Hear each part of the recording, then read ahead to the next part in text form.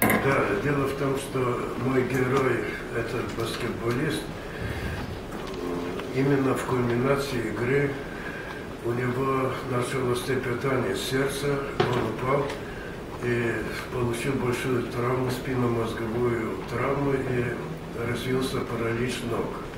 Конечно, для него это был очень большой удар, потому что он был кандидатом в сборную страны, представлял себе, что будет ехать в Олимпиаду, и вдруг он параличом ног. Но как это было психологический процесс реабилитации, это не важно, но большую роль сыграло то, что кто-то ему помог э, и просто рассказал, что можно играть и сидя в инвалидной коляске. Не что-то играть, но то, что изобретено профессором Несемьяновым в Петербурге. Питер Баскет. Перспективы развития Петербургского Анатолий Михайлович. Дорогие коллеги,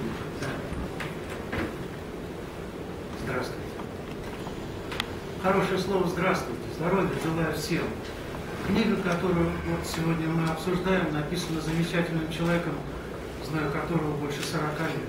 Он этого не знал и не догадывался, что я следил за его творчеством кардиохирургии, хотя я сам челюстно-лицевой хирург и стоматолог. Казалось бы, что нас объединяет.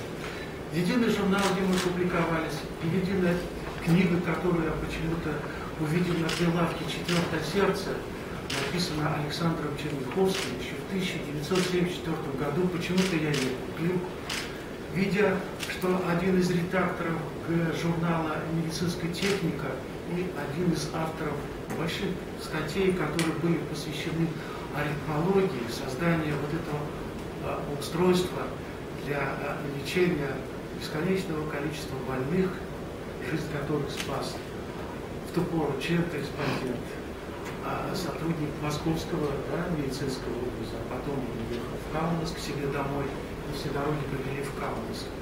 А, а, человек, который меня как бы подвигал на какие-то другие шаги, следующие, вот за ним.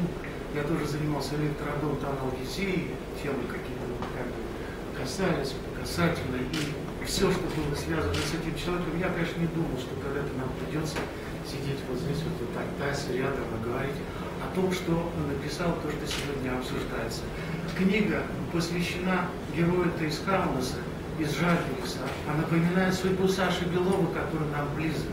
Нераспознанная патология сердца привела к тому, что в какие-то критические ситуации из этого человека легенды он превратился в них в инвалида и ушел из жизни у нас практически на глазах неожиданно в свои 27 лет автор, герой, э, автор своего героя показывает нечто похожую клиническую картину. Его подруга все время, спутница, говорит э, этому герою, что нужно обследоваться, нужно внимательно посмотреть за своим здоровьем и не выходить, может быть, на эти площадки баскетбольные, несмотря на то, что он должен попасть в сборную с Литвы, и вы знаете, что такое баскетбол Литвы, вторая дивизия. И все рушилось. А закончилось тем, что не послушав ее, он все-таки во время игры теряет сознание, потерял не только сознание, но и, в общем-то, смысл жизни, потому что падение о паркет привело к тому, что э, тазобедренные кости, сотрясение ушей головного мозга, там и прочее. В общем, он стал инвалидом, он пересел на колеса. Жизнь заканчивалась у него. Что важно в этой книге, что обсуждается? Обсуждается мысль, которая она проследуется ну, вот с первой страницы. Что такое спорт и здоровье? Понятие, совместимы ли? И сегодняшний день, что важнее вообще для нашего человечества, спорт или физическая культура? Та часть культуры, которая, собственно, направлена на сохранение здоровья. И, быть может, вообще эту физическую культуру отнести к Министерству культуры. Так оно и звучит.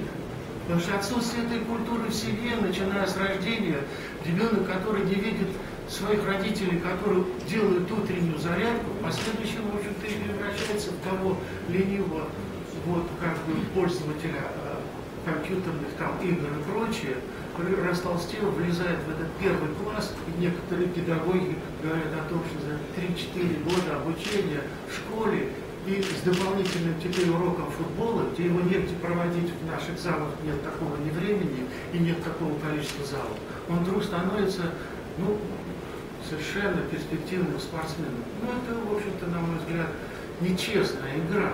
Мы друг друга пытаемся обмануть.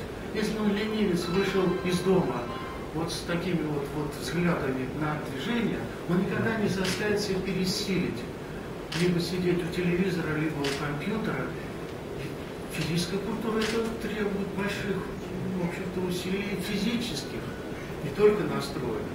Все время дискуссия в этой книге идет на эту тему. Что важнее? И совместимы ли эти понятия? Мне так думаю, думается, что наша задача сегодня, услышав врача богатейшим опытом, человек, который работал на сердце, который, по сути дела, может открыл новую эру в аритмологии, и не случайно он сегодня с нами, потому что его вчера приветствовал Международный конгресс кардиохирургов, аритмологов. Бурные овации продолжались полчаса, пока он наконец не успокоил аудиторию.